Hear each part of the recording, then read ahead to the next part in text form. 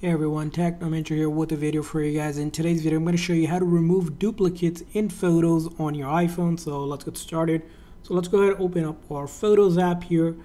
Now, first thing you want to do is scroll all the way to the very bottom until you see that says Customize and Reorder. You're going to tap on that and ensure that Utilities is selected if it's not already selected. Now once that's selected, what you're going to do is go into the utility section. There should be an option for duplicates.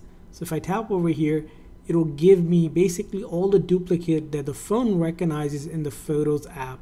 Now as you can see here, the way to remove them is basically merging them together. So in order to do that, you're going to do is you can do it individually for each one, or you can go ahead and select and then select all, and then come down here where it says merge. And when you merge, basically it merges data that's between them if there is relevant data and basically combining the photos together.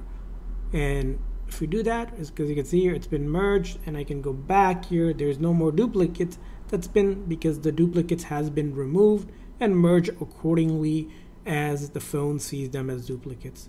So that's how you do it. I hope this video was helpful. If so, please consider hitting the like and subscribe button for more tips and tricks for your phone. We'll see you guys next time.